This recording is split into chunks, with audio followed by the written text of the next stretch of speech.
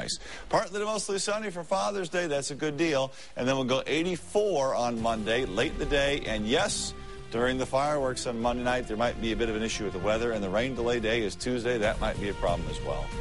We won't have a problem coming back in just a couple minutes. Stay with us. More action.